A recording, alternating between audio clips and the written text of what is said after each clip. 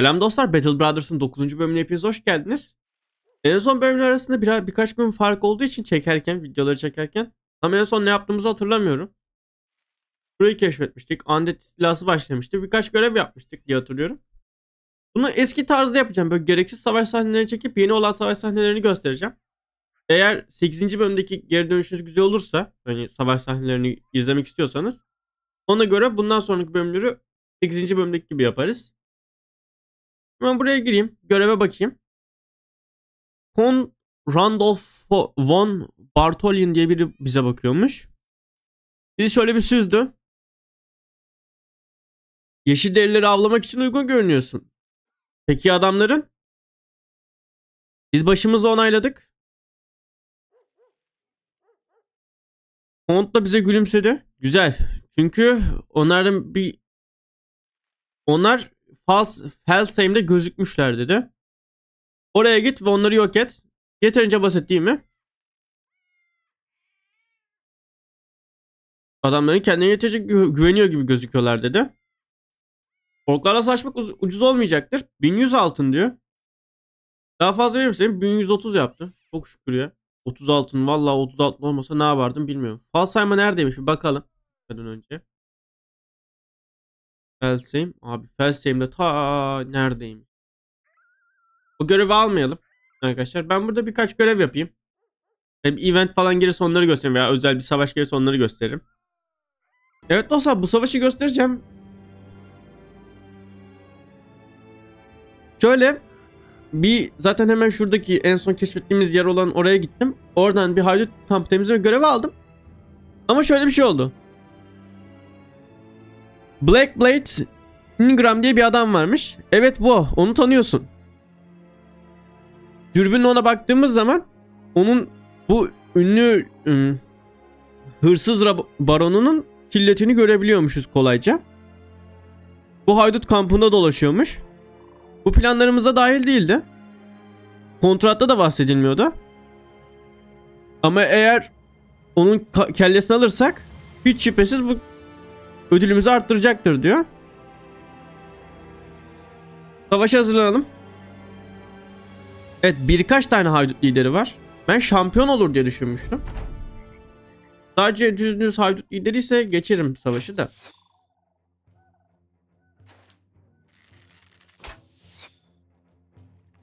Ben şampiyonla karşılaştık sandım. Çünkü şampiyonla karşılaştığınız zaman da genelde o tarz bir event geliyor arkadaşlar. Şans eseri şampiyon, şampiyonla karşılaşabiliyorsunuz.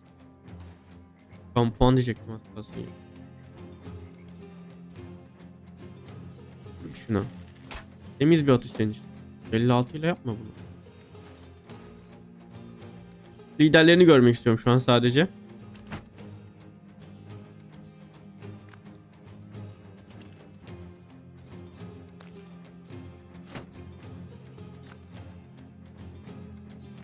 Çok öne atıldın ya. Tam bir ölüme atıldın ya.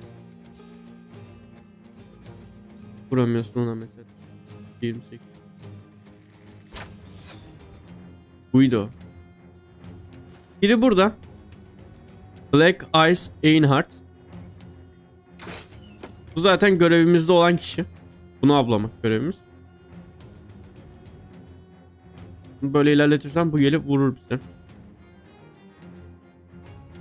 Abi ondan korkan onun gibi olsun. Yerde dövmüş. Arkadaşlar özel bir eşyası yok. Özel eşyası olsa böyle hani anlardınız. Diğer normal ekipmanlar daha farklı gözüküyor. O yüzden bu savaşı ben kendi başıma halledeceğim. Şöyle arkadaşlar indirdim icaplarına baktım. Noble Sword çıktı 45-50. Oyundaki en güçlü kılıçlardan birisi. Yanlış hatırlamıyorsam en güçlüsü de olabilir Legendary'ler hariç. Soylu kılıcı. Tabii şu an kılıç kullanan, tekrar kılıç kullanan bir karakterim olmadığı için kimseye vermedim. Onun dışında diğer herifin gürzü çıktı. Winged Mace. İnanılmaz güçlü bir gürz. En sonunda Jaffa yeni silah geldi. Dışında ekipmanlar gördüğünüz gibi zırhlarını falan hepsini çıkarttım. Çünkü bıçaklayarak dediğim gibi hançerleyerek öldürünce ekipmanlarınızı alırsınız. Sonra şuna verdim diğer zırhta. Diğerinin başında buna verdim. Kolay bir savaştı. Oldukça kolay bir savaştı yani. Şimdi kervan teslim görevi yapıyorum. Buradan aldım. Yoldayken oturan bir adamla karşılaştık yol üstünde. Oldukça hasar görmüş bir zırhı var. Daha da fazla hasar görmüş bir zırh silahı var. O da kucağında duruyormuş. İyi akşamlar. Eğer sen bir satır kılıç değilsen o halde benim de büyük babamın pantolonunu ateşe vermedim diyor. Bu başlı başına ilginç bir hikaye gözüküyor. Ama o, pantolonu ateşe verme hikayesindense neden yolun ortasında durduğunu sorduk. Daha da önemlisi neden böyle hani üstü başı kan içinde ve dövülmüş bir halde? Bir görevde mi diye sorduk. Bir görev mi? Hayır. Daha fazlasına ihtiyacım yok. Ben çoktan kılıç satma işlerini yaptım ve bundan bıktım artık. Ne var biliyor musun? Al dedi. Zırhını çıkartmaya başladı ve bizim önümüze fırlattı. Bunları al. Hayatımın geri kalanı boyunca buna ihtiyacım olmayacak. Silahımı da al. Tüm bu pisliği arkamda bırakıyorum. Sen de öyle yapmalısın. Ama biliyorum ki yapmayacaksın. Çok geç olana kadar farkı yapmayacaksın bunu. Ayaklarım ayaklarımın tamamen uyuşana kadar dünya üzerinde yürümeye devam edeceğim. Senin yapman gereken aynı senin gibi. Tanrı hızında dedi. Ve böylece yabancı yok oldu. Bize kılıcını ve zırhını bıraktı. Eskiden biz bizim gibi paralı askermiş. Herhalde takımı öldü. Yani güzelmiş, kullanılmışlıymış. Ama şu an bir işime yaramaz. Eskiden olsa daha kullanışlı olurdu, kullanırdık. E gerçi zırhını şuna kullanabilirim. Bunda ne var? 105. Al 110 ya.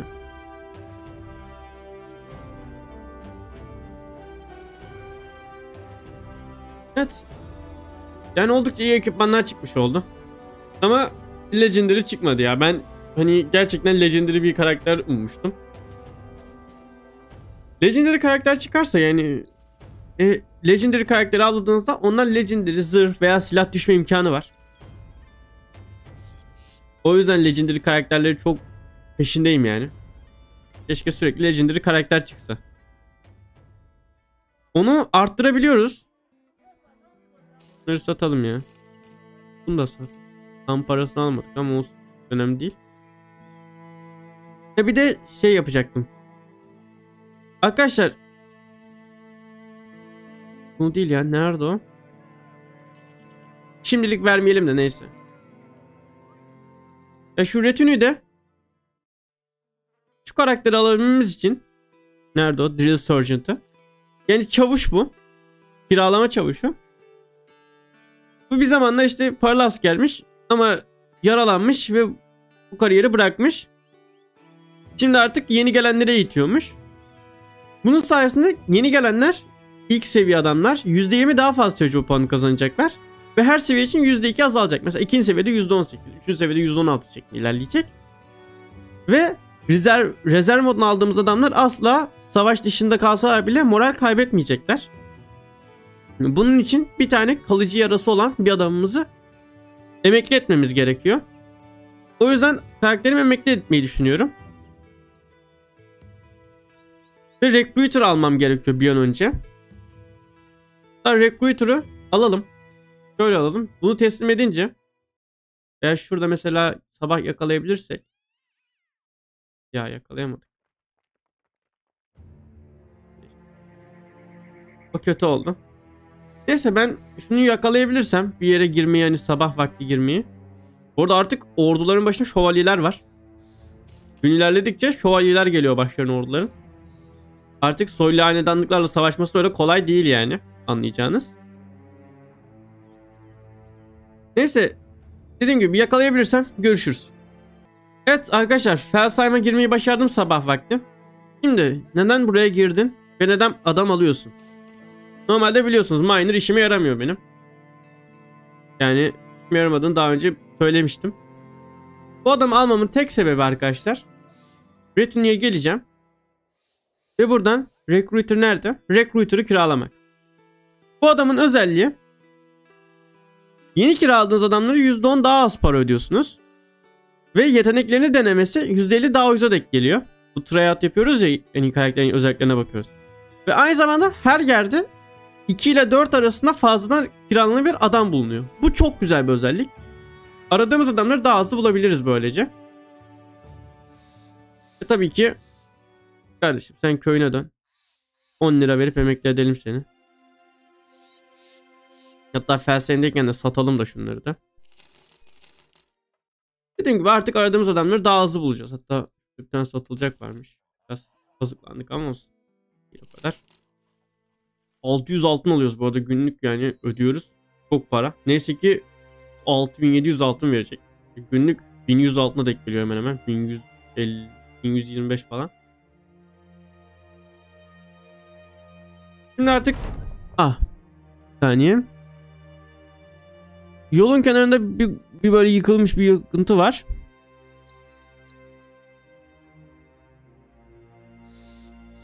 Daha sonra oraya bakmadan önce gri sakallı birisi oradan böyle taşların üzerinden bakıyor. Oldukça derin düşünceler sahip gibi. Bizim yürüdüğümüzü fark etmedi. Ne işler çeviriyormuş bir bakalım dedik. Aniden bizim adam bizim omuzumuzun üstünden crossbow ile eğim aldı. Ve sıktı. O mermi yani ok bu yaşlı adamın kafatasını deldi geçti.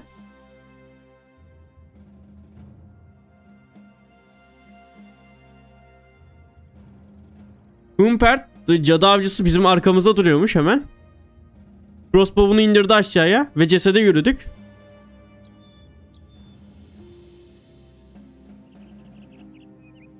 Beden küçülerek kaybolmuş. Hiçbir kan falan da bir şey de yok. Etrafa böyle bir şey saçılıyor. Toz saçılıyor.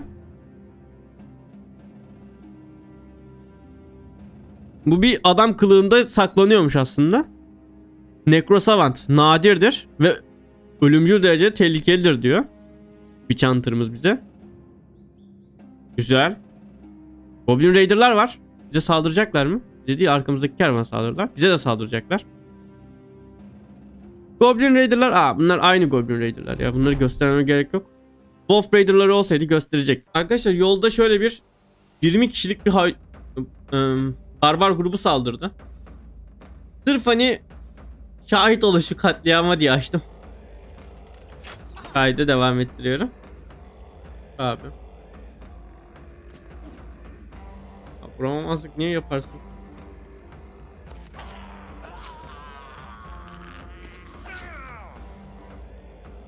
Evet burada bir katliam gerçekleşecek şimdi. Gördüğünüz üzere.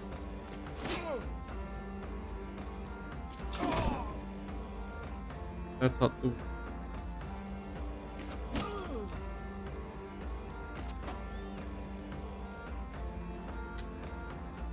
Gel. Gel. Gel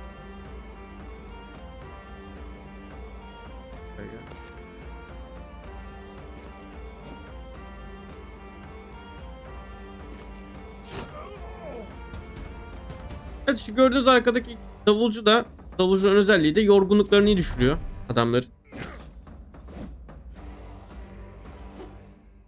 Anca nasıl uzar? Bunlar zombiye dönüşebilirler şu anda. Çünkü undead istilası var şu anda evrende. Ve zombilik virüsü her yerde yaygın bir vaziyette dolaşıyor. Abi neye beyaz bayrak veriyorsun? Gözünü seveyim. Karşındaki adamlar çıplak üstüne yine zırha bak utan ya kendinden.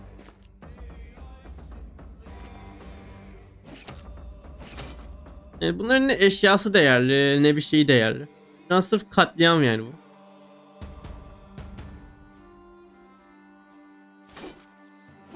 Be, üf be.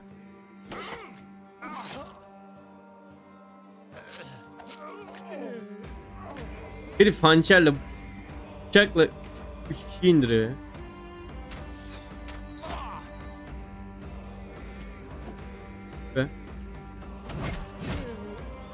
elle alıyorlar.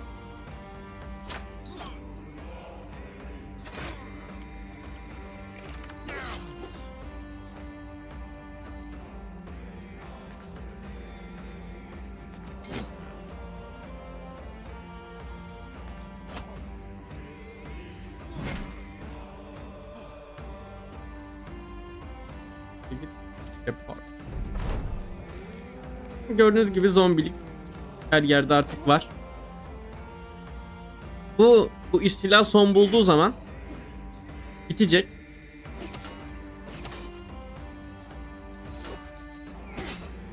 Şimdiye kadar sadece bir tane zombi grubu avlayabildim. Karşıma bir tane çıktı. O da dediğim gibi Fallen Hero vardı içlerinde oldukça zordu. Keşke o sırada kaydım açık olsaydı.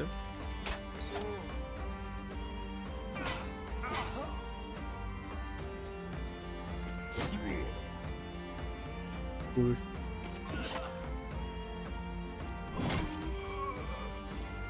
Burada kafasını keserek öldürürseniz veya işte başka fatality'lerle öldürürseniz zombiye falan dönüşemiyorlar.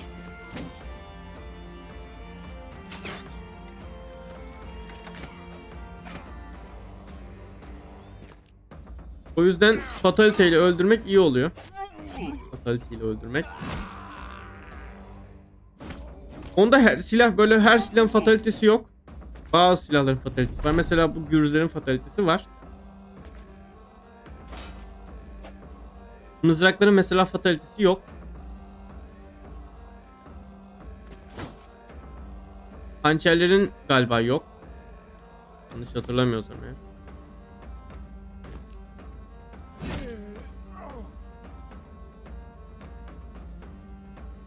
Sırf zombiler kalkabilir buradan diye hani adamlarımı böyle tutuyorum. Bu da kafalarını keserek indirmiş. Tam savaş zaten o tek kaçar. Evet 3-5 bir şey çıktı. Niye devam ediyorsan bir an kervanda gibi direkt devam edemeye bastım. Adamlarımız seviye atladı. Falk ne güzel seviye 2 oldu işte. Falk'a yaradı. Student verelim. Şu an inanılmaz yüksek tecrübe puanı kazanıyor Falk.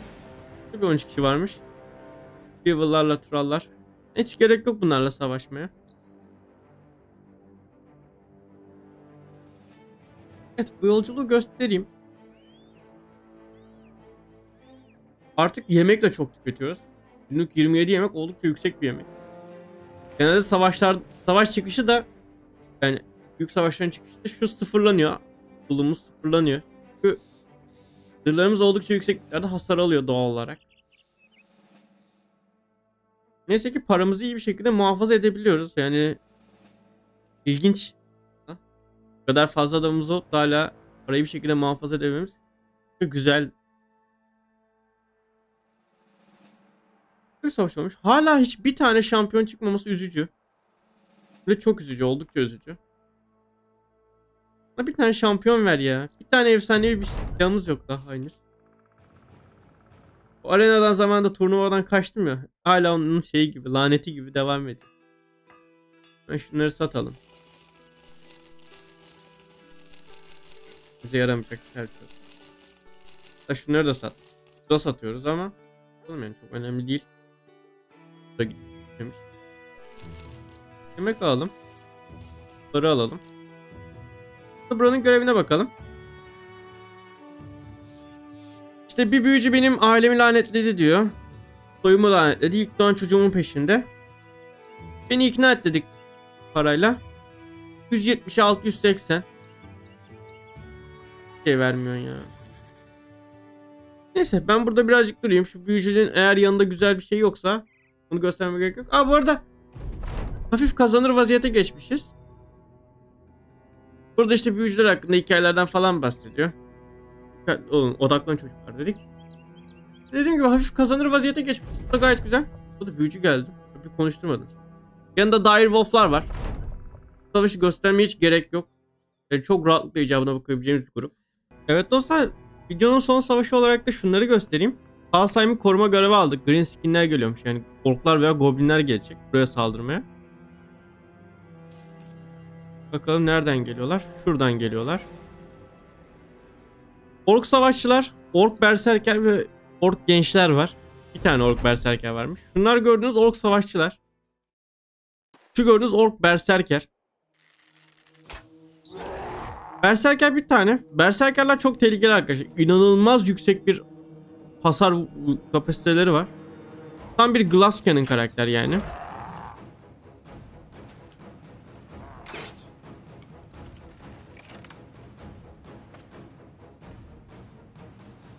Böyle yükseklik avantajını alalım da. Yükseklik avantajı olmasa bile tam bir avantajsız konuma geçmeyelim. Buralara çıkalım. En azından karşımızdakiler de bize karşı eşit kademede olalım.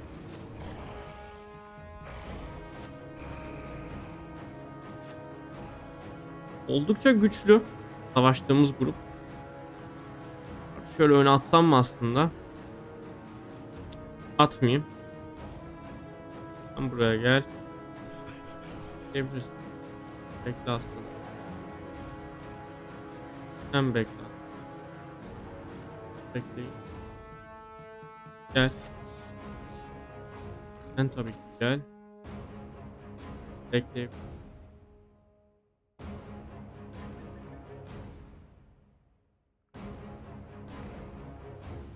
Gel buraya. Şimdi şuraya çık. Hadi bakalım. Laska'nın geldi. Neyse ki vuramıyor aynı tur. Orkların özelliği şu arkadaşlar. Böyle üstünüze zıplayıp sizi sersemletiyorlar. Buraya getirebilirim bunu korkusuzca. Berserker'i bir önce indirsek bizim için o kadar iyi. Bunlar çok tehlikeli. Bunun buraya gelmesinin sebebi şuradan ork şeyi sokmaya çalışacaklar. Bunu indir. Bunu bir önce indirmemiz lazım. Sen bekle. Sen gel buraya. Şuna vur. Güzel. Sen demiş karakterlerimiz kendine geliyor. Çok. Şimdi buraya adam sokup yani bunun üstüne atlatıp buraya adam sokmayı niyetleri. Onu yapamadılar. Ama böyle yaklaşmak tercih ettiler. Bizim için kötü oldu. Buna vuracaktır. Ama yüksek dediğim gibi bir avantaj. Orkların zırhları inanılmaz güçlü arkadaşlar bu arada. Neyse ben adamı geri kaçırabiliyorum. Work'un sayesinde. Sen dur burada. Sen dur burada. Sen dur burada. Ve getirsem güzel olacak. Ama bu çok kullanışsız kaldı. Burada çekişler iyi iş yapacaktır. Çünkü malum zırh kırabiliyorlar. Abi onlara hiç vurmanın bir anlamı yok. Bunlara. Güzel.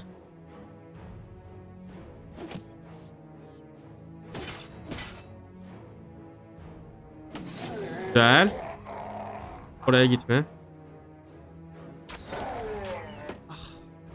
Edin onu var ya çok çok güzel olacak. Ne? Ne? Ork Warrior'lar sıkıntılı arkadaşlar.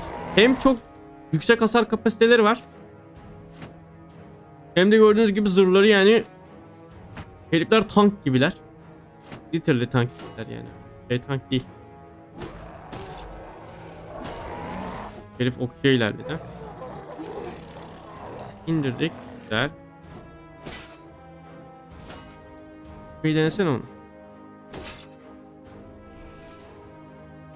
Sen gel ya. Burada 1v1.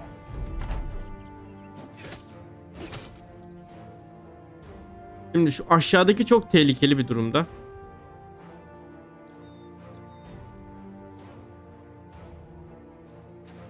Ama yukarısı da bir o kadar tehlikeli. Vur abi. Şöyle bir vuruş. Olmadı. Dediğim kadar etkili olmadı. Bayıltmayı dene. Bayıltabildin mi? Bayıltamadın. Canı sağ ol. Bunu öldürmeye gitmem gerekiyor bir an önce.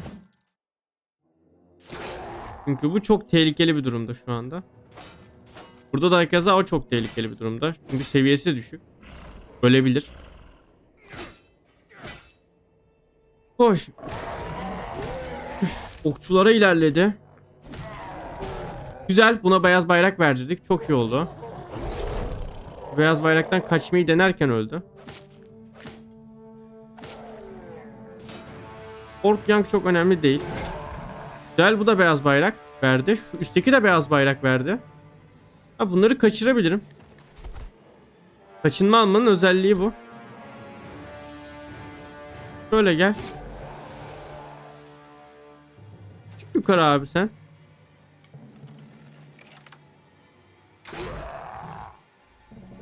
Böyle gel. Beyaz bayraktakileri tutalım.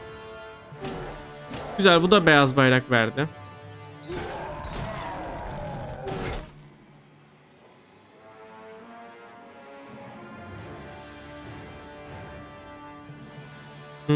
Seni şöyle alalım.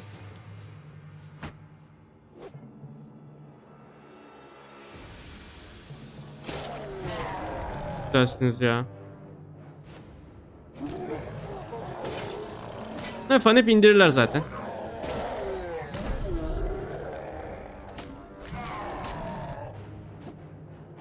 Sen hiçbir şey yapamazsın Assassin. Sen gel buna yardıma. Sen gel bu aşağı yardıma.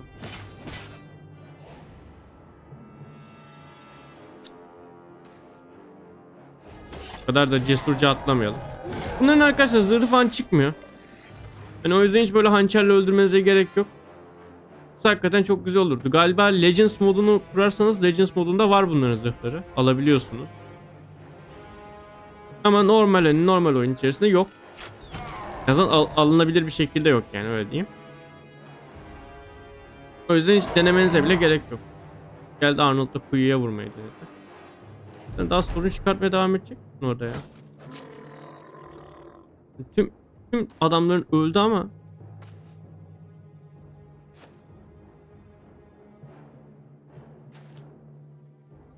Kıralım. Vur. Kaç ya. Risk almaya değmez. Hiç gelme. Sersemletmeyi deneyelim. Başarısız olduk. An çok güzel önü açık bir şekilde patır patır yapabilirler.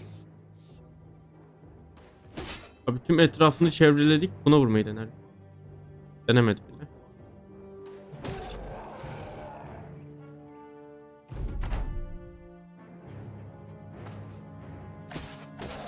Birazdan bu da kaçar.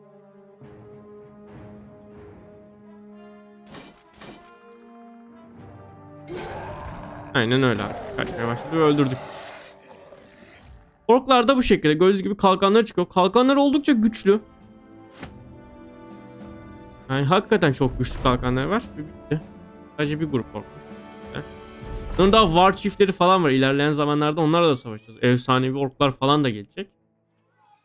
Kalkanları güçlü ama yani şu DLC'nin getirdiği bu kalkanlar hakikaten oyunun en güçlü kalkanı. Mesela yani eskiden ork kalkanları en güçlüydü. Ama inanılmaz şekilde yorgunluk debuff'ı veriyordu. Bunların öyle bir özelliği de yok. Yani yorgunlukları da gayet normal. Onu biraz ayarı kaçırmışlar onu yaparken. Orkların silahları da her zaman çok güçlüdür arkadaşlar. Mesela görüyorsunuz 40-70 vuruyor ama verdiği yorgunluk inanılmaz büyük bir yorgunluk. Baltaları da keza öyle. O yüzden ork silah kullanmayı düşünmüyorum böyle. Hani ekstrem bir durum olsa kullanmayı düşünmüyorum. Evet. Bölümü de burada noktalayalım. Güzel bir bölümdü. Yani fena olmayan bölümdü. Hafif kazanıyor duruma geçtik. Benim, bizim birazcık daha andet avlamamız gerekiyor. Hiç andet görevi gelmedi. Normalde arkadaşlar hani bu tarz oyun sonu eventleri geldiği zaman, krizleri geldiği zaman bol bol krize yönelik görev gelir. Mesela hani daha önceki bölümde hatırlıyorsanız şurada bir iskelet şeyi temizlemiştik falan. Onun tarzı görevlerin bol bol gelmesi gerekiyordu ama bize hala ork temizleme görevi, ayıp temizleme görevi veriyorlar. İlginç. Kervan görevi geliyor bol bol. Neyse paramız iyi. Seviye de atlatalım karakterleri de bölümü kapatmadan evvel. Gepard seviye atlamış. Gepard sen travmatize olmuş bir karaktersin ama Diğer karakterlerime bakayım ne vermişim. Indominantable vermişim. Shield Expert daha sonra Shield Expert vermemişim ben ya. Expert ne al abi sen? Diyet Helm seviye atlamış. Helm'i de oldukça güzel zarladı Diyet Helm. Cleaver verelim. Cleaver Master'ı. Kullandığı çift el bir Cleaver zaten. Humbert seviye atlamış. Humbert. Humbert gel sen de bunları al. Şimdi Humbert. Seni ileride silah kullanan bir karakter yapmak istiyorum. Veya crossbow'dan devam da ettirebilirim.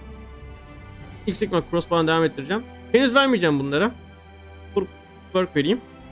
Vermemin sebebi o ambition gelmiyor. Eğer halihazırda varsa okunuz. Da mutsuz olmuş vaziyette. Yani onun mutsuzluğuna yapabileceğim tek şey buradan Retinue'den bir adamı almak olur. Retinue'ye bakalım arkadaşlar birazcık. Peki adamlarımızı değiştirelim. Mesela bu çocuk yani çok işlevli birisi değil. Bunun yerine bunun yerine bunun yerine mesela Surgeon alabilirim. Bu Surgeon özelliği yaralarımız daha hızlı iyileşiyor. Ve aynı zamanda hani ölümcül bir darbe almadığı sürece böyle hani fatal blow yani onlardan kurtulmasını sağlıyor. Hani şey kurtulmasını sağlıyor. Bir permanent injury ile kurtulmasını sağlıyor tek seferliğine. Hali hazırda bir permanent injury'si varsa tabi tekrarlamıyor bu özelliğini. Gerçi şu an sakat bir adamımız yok. Scout alabiliriz. %15 daha hızlı hareket edeceğiz. Ve bizim adamlarımızın hasta olmasını veya herhangi bir kazayla birbirlerinin sakatlamalarını engelliyor. Scout alalım. O çocuğun yerine. Negotiator dursun. Recruiter dursun. Recruiter şu an işimiz var. Adam bakıyoruz çünkü. Bir de lookout olalım. Bu bizim görüş alanımızı %25 daha fazla arttıracak. Ve ayak izlerinden edindiğimiz bilgiyi arttıracak. O yüzden lookout da alalım. Böyle de bir koltuk gelmiş.